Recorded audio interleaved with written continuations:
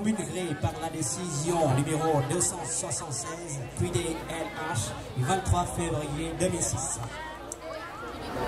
Căn cứ những đóng góp của các cá nhân trong việc tăng cường tình đoàn kết hữu nghị, hợp tác giữa nhân dân Việt Nam và nhân dân Pháp vu les contributions pour le renforcement de la solidarité, de l'amitié et de la coopération entre, entre les deux peuples du Vietnam et de la France.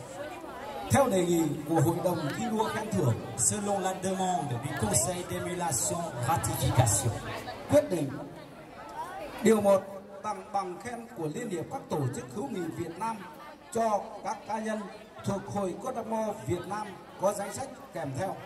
De décerner le témoignage de satisfaction de l'Union des associations d'amitié du Vietnam aux membres de l'association Côte d'Armor Vietnam, vì là có nhiều đóng góp tích cực trong hoạt động đối ngoại nhân dân pour contribution aux activités extérieures populaires. Điều 2.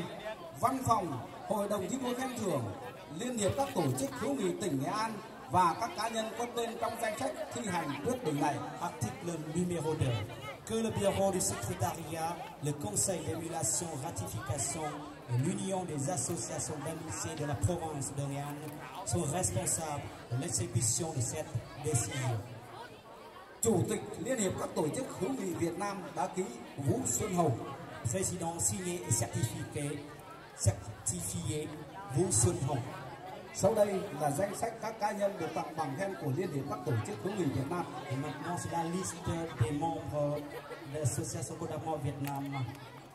Ông Philip Norman, Phó Chủ tịch Hội Kodamo Việt Nam. Monsieur Philippe Normand, le vice-président de l'association Kodamo Việt Nam.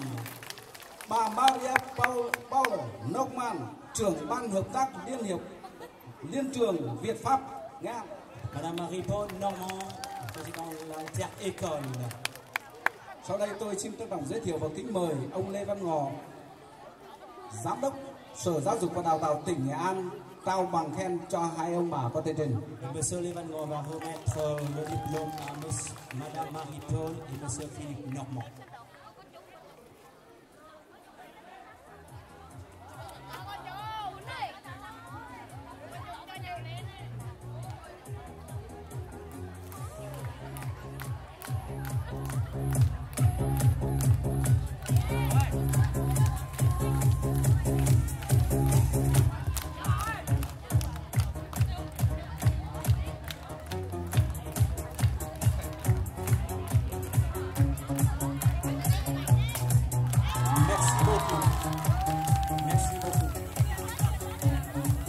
Cảm ơn thầy giáo Lê Văn Ngọ, giám đốc sở giáo dục đào tạo tỉnh Nghệ An. Xin cảm ơn ông bà Marie-Paul Normand. Xin cảm ơn ông Ngô Đăng Mười, tổng thư ký liên hợp các tổ chức hữu nghị tại Nghệ An. Xin cảm ơn rất nhiều. Merci beaucoup. Merci beaucoup à vous.